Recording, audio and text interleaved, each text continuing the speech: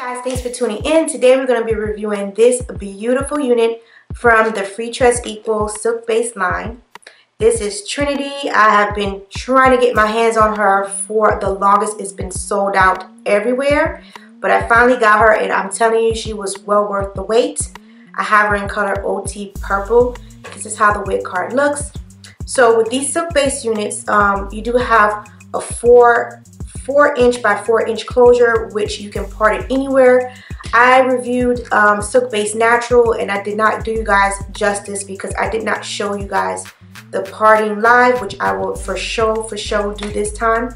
So let's jump right into the review starting with the wig construction. This unit has two frontal combs at the temples, one in the back with adjustable straps. You can also check out the 4x4 frontal silk base here, hopefully.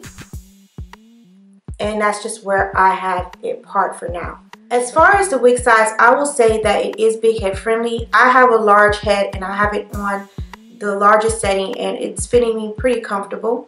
The hair on this unit is pretty long. It's about 24 inches. It's layered and the layers are really nicely done. The texture is more of a um, kinky texture, more of a silky, a silky kinky, if that is even something that exists. But that's how I would describe it as a kinky straight unit. It does tangle, but with this length and texture, it's kind of expected. It's not overly annoying, and I did not get much shedding on this baby either.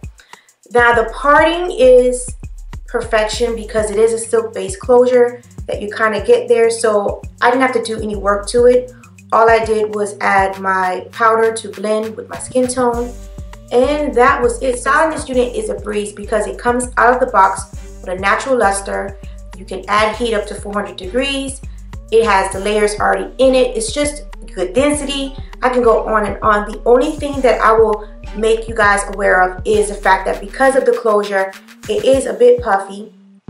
You will have to do some wig training or add heat, hairspray, all of that should work. And over time, you can get it flat as you like. As you can see, I have it up the middle. And it did take me a while to get this side to lay flat. But overall, I think she is amazing, amazing, amazing. Definitely recommend this unit. Um, I have been like in a wig rut where I was like not seeing anything I liked, not really liking anything I had. But this one has single-handedly resuscitated me. So I really appreciate it. I'm convinced that Freetress is trying to put a lot of hairstylists out of business with these type of units if they keep bringing out these kind of units. So I'm parting, so, so I'm going to show you guys me parting this unit in several ways so you can see the options that you have.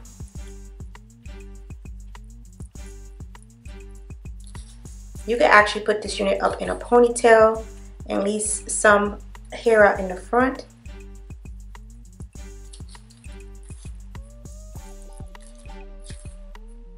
So that's going to be my review on Trinity. I hope you guys found it helpful. Check out some of these other units that I think are similar. And until next time, guys, which will be really, really, really soon. See ya.